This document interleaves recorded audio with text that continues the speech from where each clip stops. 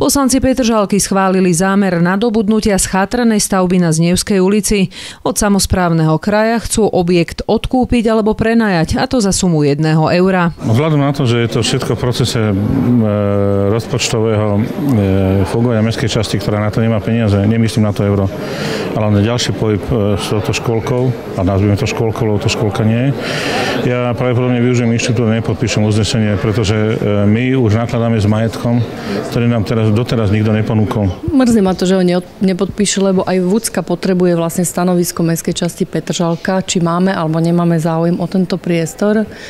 Eh, ja si myslím, že by sme to mohli urobiť tak, ako to chceli obyvateľia, že by tam mala byť nejaká verejnoprospečná funkcia a tým, že župa to mala naozaj 7 rokov, nebola schopná s tým nič urobiť, eh, je jasné, že je to na dlhé lakte. No neviem si predstaviť, aká úprava rozpočtu by to znamenala, čo by sme s tým urobili. Pravdepodobne by E, by boli ohrozené ďalšie projekty, ktoré máme schválené v, v mestskej časti, či už je to e, jama, detské hrysko, alebo oprava teraz, oprava oprava chodníkov a podobne. E, museli by sme škrtať veci, na ktoré ľudia už čakajú len kvôli tomu, že niekto sa chce exponovať v predvolebnej kampani a to považujem za veľké, veľmi nekorektné. Viacerí petržalskí poslanci, z ktorých sú niektorí aj poslancami kraja, však tvrdia, že blížiace sa regionálne voľby s tým nemajú nič spoločné. Budovu chcú vraj získať, aby ju zmysluplne využili poslanci na župe odsúhlasili ten predaj práve kvôli tomu, že župa má dostatok svojich budov a nevedela nájsť pre túto budovu využitie. A bohužiaľ za súčasného aj minulého vedenia sa stal jediný výsledok ten, že tá budova chátrala a chátrala ďalej. E, aj kvôli tomu, že sa nenašlo dostatočná podpora všetkých poslancov na župe, aby sa investovali peniaze do tejto budovy. E, čiže e, povedzme si, naozaj je adekvátna tá dôvera na vyšší územný celok, že sa postará o takúto budovu.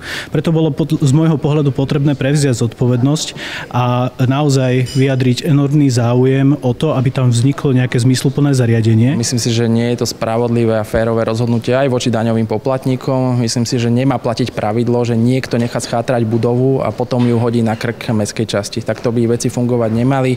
Navyše my sme si ešte v decembri schvalovali rozpočet na tento rok. Riešime si aj kapacitné problémy so škôlkami, takže nepovažujem to za správne rozhodnutie. Ja to vnímam tak, že nenadobudneme absolútne nič. To, čo nadobudneme, je, je stavba, ktorá, z ktorej po zbúraní zostanú maximálne základy a dva, dva vodové múry.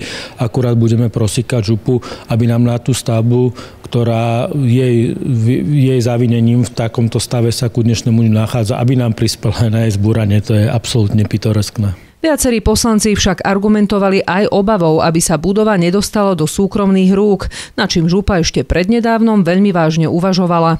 Predseda sa tu zaviazal, že nič sa nebude predávať a že v rámci svojich kompetencií zrekonštruuje e, túto budovu za podmienok, že mu pomôžeme tlačiť na mesto o vysporiadanie pozemku.